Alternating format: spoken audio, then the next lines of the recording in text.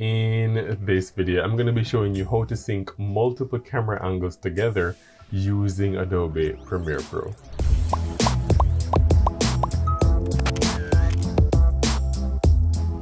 Welcome back to the channel. My name is CJam and here we are inside of Adobe Premiere Pro and before we get started I just want to let you guys know that the footage that I'm going to be syncing today, the video tracks and the audio track are yours to download for free and work along with me. All you have to do is hit the first link in this video's description. And if you want to download Adobe Premiere Pro free for seven days, that way you can edit with me, go ahead and hit the second link in this video's description. So what we're to be doing first is importing our clips into Premiere Pro. So we're to go to File and go down to Import and then we're going to locate our files on our computer, right?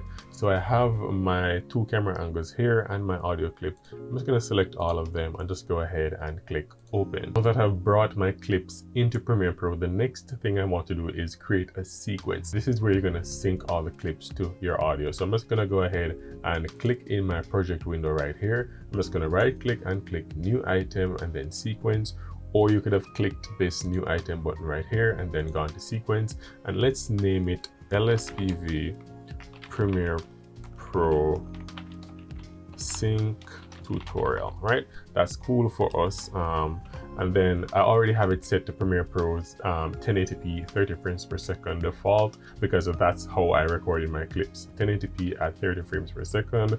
I usually keep um, my sequence settings to match the way I recorded the footage right? So I'm just gonna go ahead and click OK. Now that I've created my new sequence I'm just gonna go ahead and hit Ctrl and S to save my project.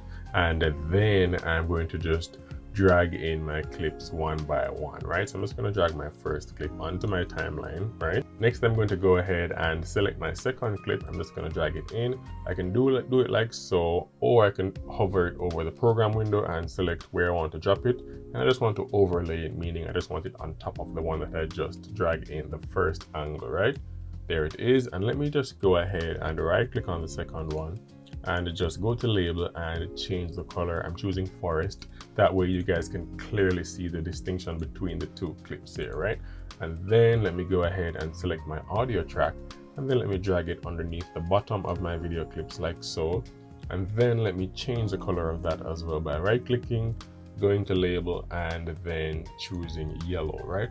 Now I'm just gonna go ahead and hit Control and S to save all that I just did. And here's where the magic happens. Remember, audio is king and we are just gonna select all of them, right?